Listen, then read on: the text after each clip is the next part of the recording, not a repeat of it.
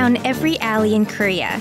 Tucked away with the calligraphers and the squid fryers are tiny boutiques that sell the most precious commodity of all a glimpse into your own future. These are the signs that advertise the neighborhood fortune teller. It's a huge business, and it's really quite amazing. Because every place I went, they knew I was coming. What kind of what kind of guy will I marry? 남자는 많은데 내 남자가 없다.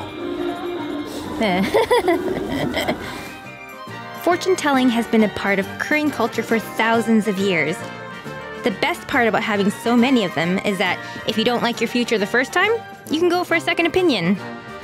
Will I meet my soulmate soon? 좀 넘어야 산은 있어도 네. 좋은 결과가 있다고 나오네요. 소통이 잘 되고. Thank you, 감사합니다. Thank you. Thank you. Now that I know the minor details, like marriage and children, it's time for the one question that we all want to have answered. Will Canada win the gold medal in hockey? 음, 하키? 어, 그런데 하키는 그래도 처음에는 조금 미국한테 고전을 하다가 이, 이 뒷심이 좋아요. 음, 그렇기 때문에 캐나다가 좀 이길 가능성이 크죠. Go let it go.